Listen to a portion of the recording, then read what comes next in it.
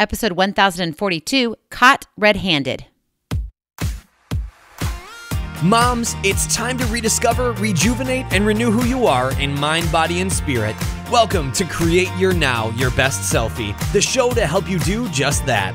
Here's your host, certified life coach, personal trainer, and nutritionist, Christiane Wargo. Staring at a stop sign, watching people drive by. Happy, happy day. I hope your week has been an awesome one. It is Confessions of an Upset Mama Day, and we're talking about caught red handed. what did you do wrong? Oh, maybe you did do wrong. Maybe your child did wrong. Oh, it's going to be a great, fun, incredible discussion. You want to stay tuned. For those of you who are brand new to Create You Now, welcome to this incredible family. I'm so delighted of your presence. If you already haven't had the opportunity, you'll want to head on over to createyournow.com where you can learn more and to sign up for the Kisses newsletter, the Keep It Simple strategy, everyday solutions to live, love, and impact. Well, do you remember growing up and being caught red handed? Disciplining your child is not fun at all. Well, at least not when I woke up this morning, but it's a necessity. As parents who want to raise children to make a difference in this world, we are called to discipline. Now, we all know disciplining isn't fun. And if it, you think it's fun, well, then we definitely need to talk. So look me up. But think about when you got in trouble growing up. No one likes to be in trouble. It makes us feel, I don't know, dirty maybe is a good word. It just, that, we're a failure. And that begins to build on what? Our self esteem. I can't do anything right. Mom's always mad at me. Dad is this, whatever the case may be. No matter how advanced we become as a society, discipline will always exist.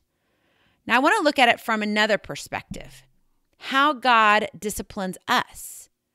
He takes us right where we are and directs us accordingly. God blocks out our past and focuses on the present. So, no matter what has happened to you in the past, He sees what you've done right now, and that's what He deals with. Now, He understands your past, but He also knows that what matters now is the present. So, now let's look at a trending parenting style. When your child makes a poor decision, a mistake, they're caught red handed and you jump into action, reminding them of their current and past mistakes. Oh man, have you ever done that? Oh, just wait. I will share a story with you. Now I got to take it even further. Let's talk puppies. Oh, puppies are so cute. How can you ever be mad at a puppy? And how can they ever be caught red handed? Oh, because they're a puppy and they need to be potty trained. So I know, I promise you, this is going to make sense. So hang in there. Puppy trainers around the world all agree that you should not correct or discipline your puppy unless you catch them in the act.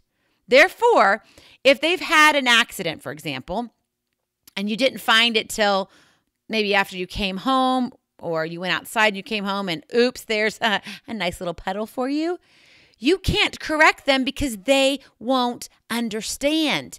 They won't be able to comprehend. They won't know what they did wrong. Now, we've talked about three different scenarios how God disciplines us, a parenting trend on discipline, and puppy training. And you're probably going, what does that all have in common? Well, did you notice that puppy trainers and God disciplines and trains the same? They do. They forget about the past.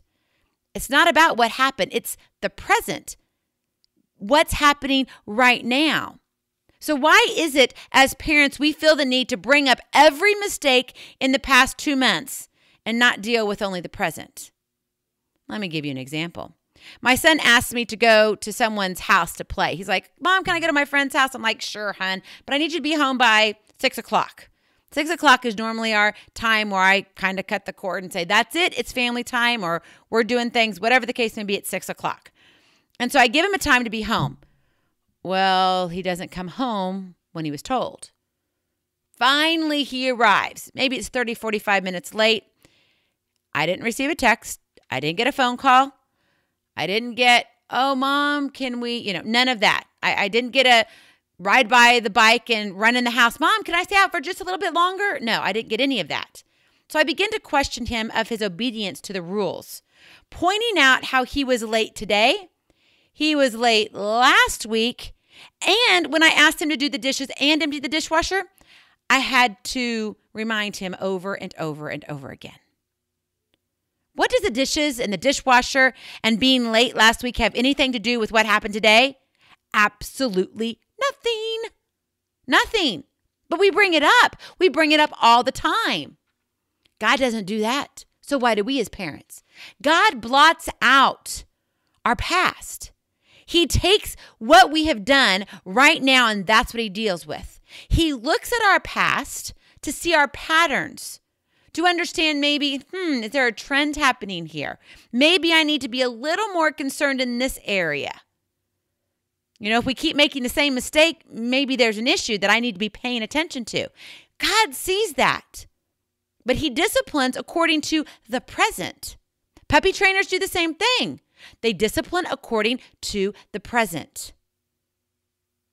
Well, how in the world can we as parents not learn to discipline in the present? You see, the past doesn't have the power that the present does. Let me say that again. The past doesn't have the power that the present does. So, what can you do for your child when they're caught red handed? Here is your kiss, the keep it simple strategy discipline in the present. Discipline in the present. I mean, come on. You're taking a note from puppy trainers who, you know, some puppy dogs are trained much better than our children. Okay, maybe that's for another episode. But let's really be serious. There truly are, and you've seen them. You've seen those children out there, and you're like, do they not have discipline in their family?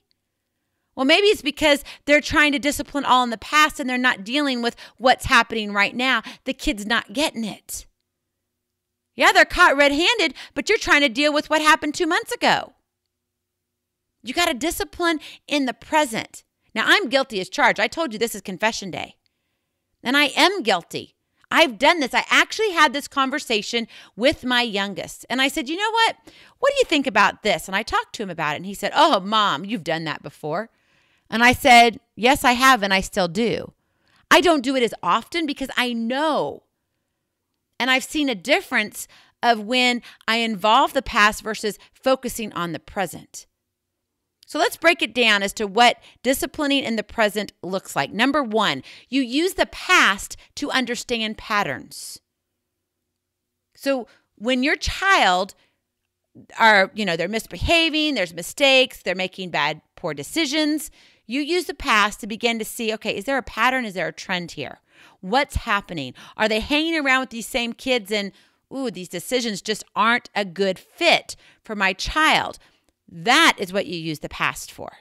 Otherwise, you blot it out just like God does. Why? Because that's how God treats us, and that's how we need to extend it to our child. Because what happens is we're continually pushing away our children. If we're always bringing up the past, they're never, ever going to be redeemed. They can never do right. And you wonder why we have children growing up who have a problem with self esteem, who have perfection issues, who are fearful of things. Let's start looking at our discipline style. So use the past to understand the patterns, number one. Number two, focus on the current misbehavior or mistake only. The current, what just happened. So I give you gave you an example of my son coming home late. Okay, I need to talk to him about that particular point in time. If I've noticed a trend, go back to number 1, use a past to understand the patterns. Okay, if he's done it maybe only one other time, maybe there's not a pattern there. But if he's done it like 12 times, okay, we're having, yeah, we've got an issue here but I still focus on the current misbehavior. And I address that at that point in time. Then, number three, you implement the penalty. You set it and implement. Yeah, huh, you got to be the bad guy. Sorry, we all have to be the bad guy, but when you're the bad guy, you're actually the good parent. The past doesn't have the power that the present does. So you need to discipline in the present. You don't want to keep pushing your child away. And that is what happens when we continually bring up the past. God gives us grace, He forgives us We are to do the same with our child. Now, yes, we need to understand their patterns, the symptoms of the decisions that they make. We could go on and on and on. And obviously, your parenting style will have an influence on this, but there are so many different parenting styles out there. We could be here for two weeks talking about parenting styles. So I tried to make it really simple. You know me, I love the kisses. Discipline in the present. That's where your focus needs to be. Because when you look at that, a child's going to say, I get it. Just like the puppy dog.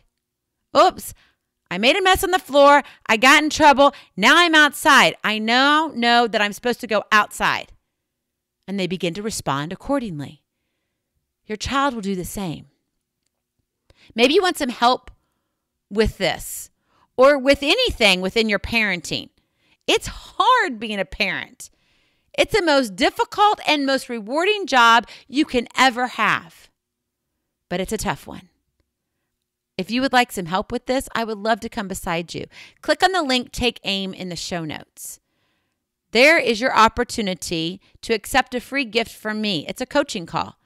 There is no charge for this. It's my gift to you, my opportunity to give back. A lot of us have not ever experienced what it's like to be coached, and this is your opportunity to do so. And so I would love to come beside you. Click on the link, a form will pop up. That information comes directly to me. We will get a time scheduled for you, and you and I will have a chat specific to your situation.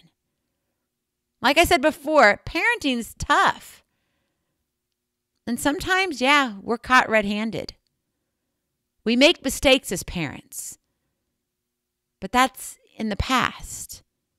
The past doesn't have the power that the present does. So, discipline in the present. I love you so very much. I cannot wait to see you on the other side. Blessings, hugs, and lots and lots of love. We'll talk to you real soon. Bye bye. Feeling inspired, ready to train for life, and love your journey?